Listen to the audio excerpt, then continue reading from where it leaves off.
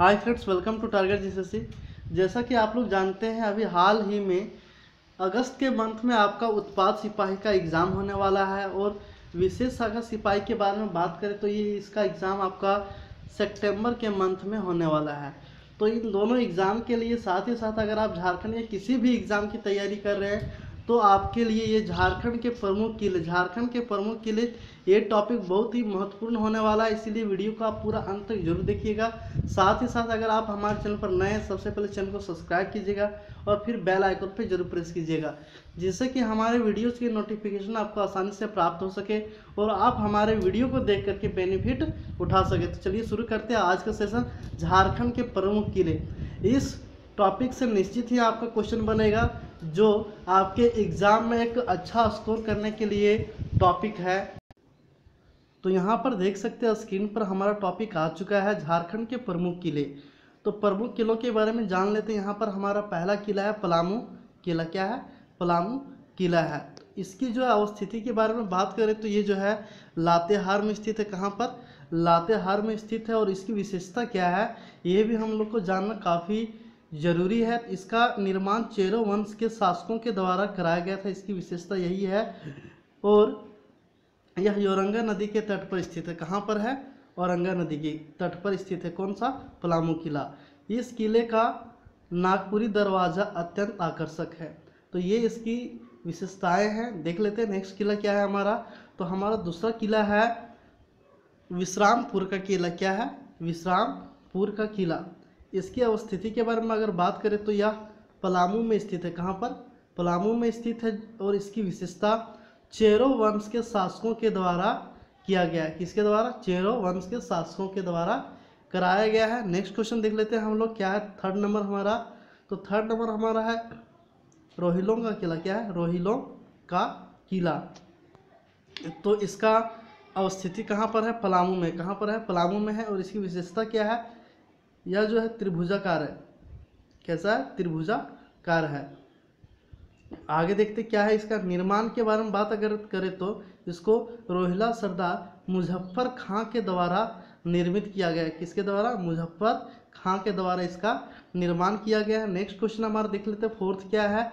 झारखंड का किला फोर्थ क्या है? तो चैनपुर का किला क्या है? चैनपुर का किला। इसकी अवस्थिति जो है पलामू में, कहाँ पर है? पलामू में है इसकी अवस्थिति।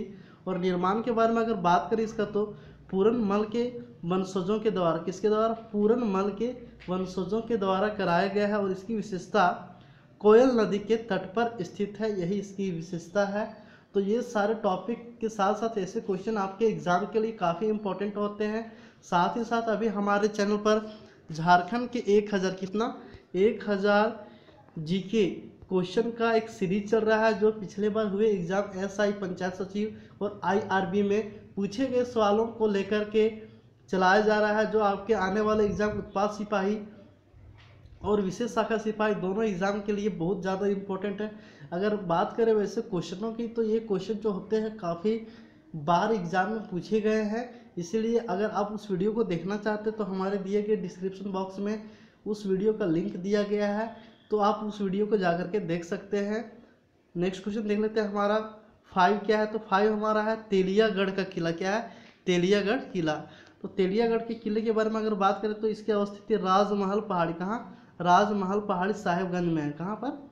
साहेबगंज में है। इसकी विशेषता क्या है? इसे बंगाल का प्रवेश द्वार भी कहा जाता है। बहुत बार ऐसा भी क्वेश्चन पूछ लिया जाता है कि इस किले को बंगाल का प्रवेश द्वार कहा जाता है। तो आपको क्या बताना तेलियागढ़ किला। क्या? तेलियागढ़ किला। इससे बहुत ज़्यादा क्वेश्चन बनते हैं। कौन सा किला किस जगह पर स्थित है? ये जानना हम लोगों के लिए काफ़ी महत्वपूर्ण है, जो कि एग्ज़ाम पॉइंट ऑफ़ व्यू से देखें तो इस तरह के क्वेश्चन पिछले बार भी पूछे गए हैं। नेक्स्ट क्वेश्चन देख लेते हैं। सिक्स हमारा क्या है? यहाँ पर देखिए सेवन आ चुका है। यहाँ पर पंचकोट का किला। क्या है? पंचकोट का किला। तो पंचकोट का किला के बारे में बात करें तो इसकी अवस्थिति जो है पंचायत पहाड़ी में है और इसे जो है पाँच कोटो दीवारों से घिरा हुआ है। इसकी विशेषता क्या है? पाँच कोटो दीवारों से घिरा हुआ किला है और यह जो है पंचायत के गोवंशी, गो नरेश, गोमुखी के द्वारा इसको बनाया गया निर्माण किया गया है। इसको आद करने का सबसे अच्छा ट्रिक यही है पंचकोट। पंच यहाँ पर देख सकते हैं पंच कहाँ पर है? पंचायत पहाड़ी पर है और इसको पंच क्यों नाम दिया गया है? क्योंकि इसमें पाँच कोटों मतलब दीवार दिए गए हैं, उससे घिरे हुए हैं। तो इस तरह से आप इसको याद रख सकते हैं। नेक्स्ट क्वेश्चन देख लेते हैं, हमारा एट क्या है? तो एट यहाँ पर देख सकते हैं, रामगढ़ का किला क्या है? रामगढ़ का किला। इसकी अवस्थिति जो है रामगढ़ में, कहाँ पर है? रामगढ़ में इसकी अवस्थिति है, निर्माण इसका जो है राजा सबल राय ने करवाया था। किसने करवाया था? राजा सबल राय ने इसकी निर्माण करवाया था। और इसकी विशेषता क्या है? इसकी बनावट मुगल शैली से प्रभावित है। किसके से प्रभावित है? मुगल शैली से इसकी बनावट प्रभावित है। नेक्स्ट क्वेश्चन देख लेते हैं, क्या है हमारा? पद्मा का किला। बात करें अगर पद्मा का किला के बारे में तो ये कहाँ पर स्थित है? हजारीबाग में। कहाँ पर? हजारीबाग में। इसकी विशेषता क्या है? तो इसकी विशेषता इसे राज्य सरकार के द्वारा पुलिस प्रशिक्षण केंद्र बना दिया गया है। तो इस तरह के क्वेश्चन आपके बन सकते हैं कि कौन सा किला को पर पुलिस प्रशिक्षण केंद्र बना दिया गया है। तो आपका राइट आंसर क्या हो जाएगा? हजारीबाग में स्थित पद्मा का किला को पुलिस प्रशिक्षण केंद्र बना दिया गया है। नेक्स्ट क्वेश्चन हमारा है, देख लेते हैं, दस हमारा नवरत्नगढ़ महल। तो नवरत्नगढ़ महल के बारे में अगर बोले और पता करें तो इसके बारे में, यह गुमला में स्थित है। कहाँ पर है?